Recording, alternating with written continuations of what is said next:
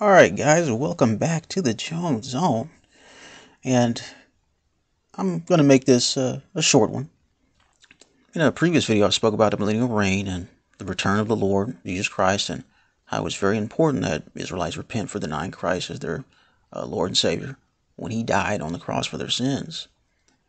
Uh, they stoned His prophets, they stoned Him, they spat on Him, and they pretty much just turned their backs on Him as the Son of God as he went through hell for them. It's a living hell. Uh, the Romans, they um, completely brutalized this man, gave him the 40 lashes and all of that that would, that would normally kill a man. Uh, but instead of using this term Israelite, um, which is a broad term, I'm just going to say Jews. I know there are Hebrew Israelites who feel like they are the, the true representatives of Israel and all that, but uh, no. Uh, the people who actually played their part in the atrocity committed against Jesus were the ethnic Jews. Okay, so for a lot of people out there, they're saying, well, you know, the they're uh, the, the race and you know all this kind of stuff, and um, blacks are, are the, the the originals and all this kind of stuff in the region. In that region, we got to remember this: whites are depicting themselves doing all of the, the the atrocities and stuff like that. They're actually depicting themselves doing it, and I the reason why they're doing it is because it really happened that way. All right, so black Israelite people, you are not the ethnic or the ethno-cultural Jews, the descendants of which we see inhabiting Israel today. Uh, but that doesn't mean we can't trace your lineage back to the geographical location of Israel at some point in history. So I'm, I'm not saying that. Blacks or Hamitic people were in the Levant and have a presence in those lands dating back to prehistoric times. However, they unfortunately, or rather I should say fortunately, they wouldn't be the ethnic group to inherit the covenant with God.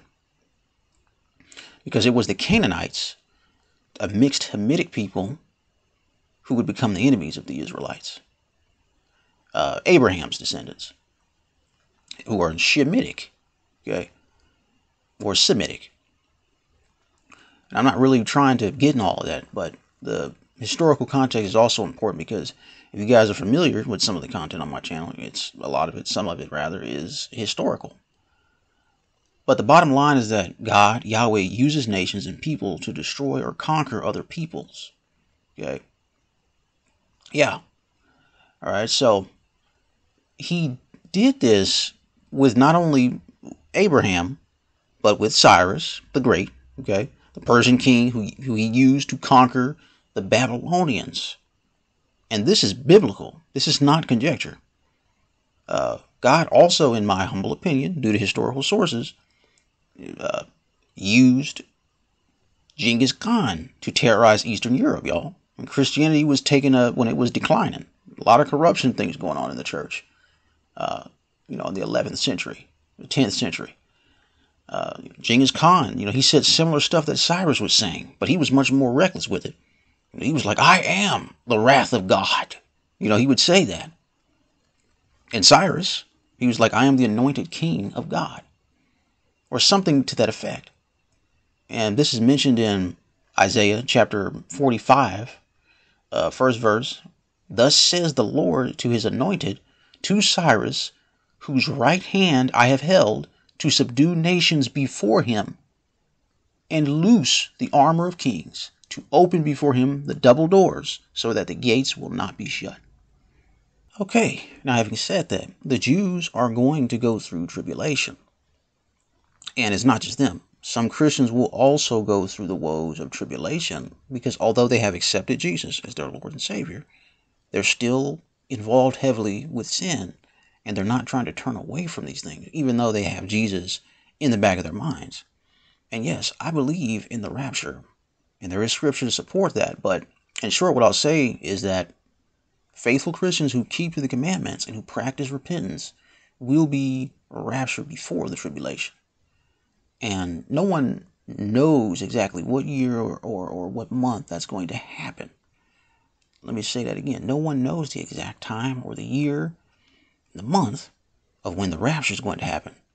So, if you're listening to so called Christians who are saying things like that, let me just tell you either these people have anxiety, uh, they are possibly, they could be in the dealings of being a, a false uh, prophet, whether they know it or not.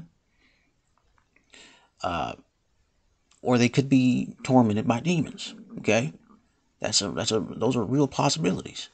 I know don't want to go there, but you know, let's bring it back to the false prophet narrative. If they're doing that, let's just say, look, false prophets will not be allowed into the kingdom of heaven. Okay. So if you're a Christian and you're doing that, just repent and turn away from it, and you'll be fine. Hey, I step over the line sometimes and I wrestle with sin too. And I genuinely have videos on here where you can catch me doing it. But I always make sure to repent. And when I do it, I really mean it. And I come out a wiser person every single time. So, yeah, there's a lot of sincerity involved in this. You are most likely going to have to repent and re repent, especially if you have not come out from among uh, people who are unbelievers and things like that. If you're living among unbelievers, you're living among, let's be honest, phony, fake Christians and things like that. You're and you're exposed to all kinds of, uh, let's just say, sinful content, sinful people you are going to continue to, very likely continue to do it. Unless you stay in the house all day and isolate yourself from everyone. That's the only way I can see that not happening. Uh, and you're not going to, I don't think you're going to go to hell or anything like that. Uh, but what's going to happen is you're going to constantly be repenting over and over again. And eventually God is going to chastise you. Now, I'll have to make another video about how that plays out. He'll, he'll chastise you make you feel real bad about what you're doing and all that kind of stuff. All right. Now, when it comes to the Jews, God will not restore favor to them until they repent and confess that Jesus is not only their Messiah, but their Lord and Savior. And boy, oh boy, do they have to mean it too. No, you're not just going to be welcome to the kingdom walking around just thinking Christ is your Messiah, while everybody else is kneeling and all that, and because you're Jewish, you know, you can just walk walk amongst Christ and not kneel. It don't work that way. In Philippians, uh, chapter two, verse ten and eleven, it says that at the name of Jesus, every knee should bow of things in heaven and things in earth and things under the earth, and that every tongue should confess that Jesus Christ is Lord to the glory of God the Father. Okay, now it says every knee should bow, every tongue should confess. And that means that there's choice. That means that if Jesus comes before you, that's what you should do. It doesn't mean that's what you have to do. Okay, that's saying that Jesus is not going to impose his will on you. But it would be wise very wise of you to bow before Jesus Christ. Because if you don't, well, then you're going to have to deal with the repercussions of not bowing before the Lord and Savior. Not bowing before the Son of God who died for your sins. And, you know, I'm not going to get into that anymore about what happens if you don't do that and, and what you could be looking at. But most people, they pretty much get the picture of what happens to you if you do not bow before the Lord and Savior. All right, so that's going to conclude this uh, and uh, wrap this up, guys. Uh, Thank you for listening, and uh, you all stay blessed.